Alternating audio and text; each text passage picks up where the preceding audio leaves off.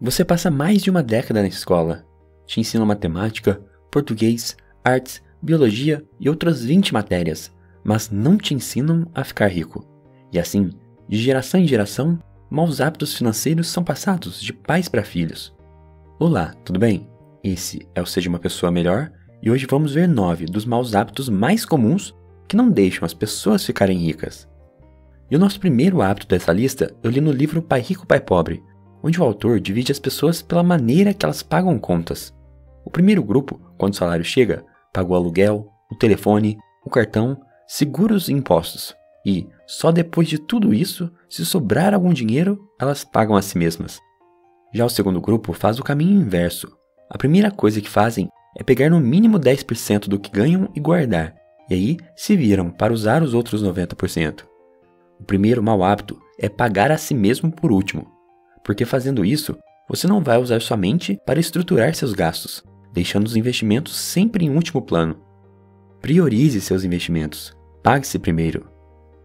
Agora, o segundo mau hábito é fazer dívidas. Talvez um dia você precise pegar algum dinheiro com o banco para algo urgente, mas tome cuidado para não transformar isso em uma norma padrão. Eu já fiz um vídeo sobre como ganhar dinheiro através de dívidas, mas normalmente nós só perdemos com elas. Em vez de ver seu dinheiro aumentar exponencialmente com o tempo, os juros de dívida trabalham contra você. O mau hábito número 3 é o de não ter uma reserva de emergência.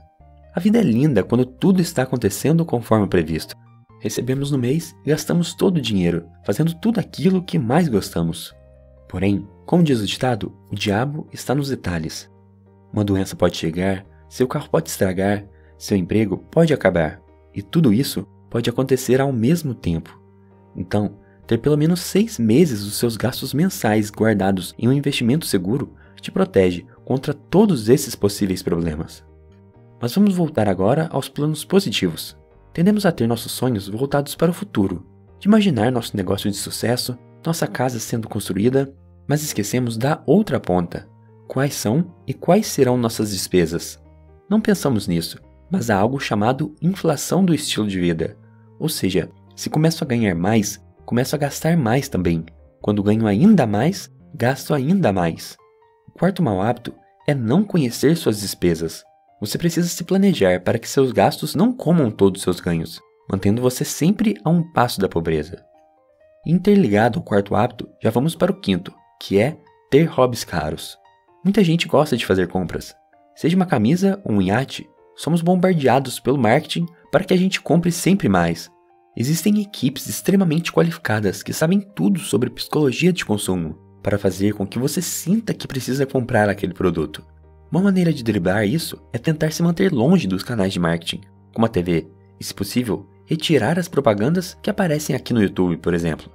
Além disso, prefira gastar seu dinheiro em experiências ou em educação, já que você vai estar se desenvolvendo ao fazer isso e esse conjunto de habilidades que você estiver aprendendo vai te ajudar não apenas a ganhar mais dinheiro no futuro, mas também a ser uma pessoa melhor.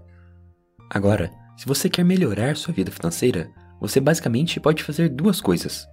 Ou você pode economizar bastante do que ganha, ou você pode buscar formas de ganhar mais dinheiro. O ideal é a soma dessas duas ideias, mas muita gente comete o erro de focar apenas em poupar. Você pode gastar menos, conseguir cashback no cartão usar só produtos usados, mas sempre haverá um limite para o quanto você consegue economizar. Em contrapartida, no outro lado, existem várias formas de ganhar mais. Há um potencial quase limitado do quanto você pode ganhar mais. Tente manter uma combinação dessas duas formas. É assim que as pessoas ficam ricas. E vamos para o mau hábito número 7. Demorar para começar a investir. Se você investisse 25 mil reais aos seus 25 anos, com uma taxa de 1% ao mês, e esperasse até sua aposentadoria aos 65, você teria 3 milhões de reais. Se começasse apenas aos 35, teria bem menos que isso, 900 mil reais. E se investisse apenas aos 45, teria 270 mil. Essa é a fórmula dos juros compostos, e como podem ver, a variável exponencial aqui e que tem o poder de multiplicar seu dinheiro é somente o tempo.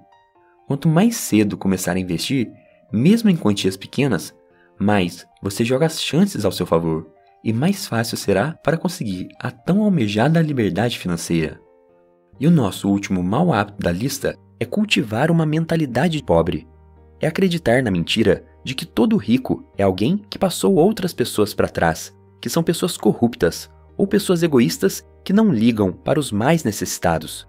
Se você acha tudo isso das pessoas ricas, você acha mesmo que você vai querer ser rico algum dia?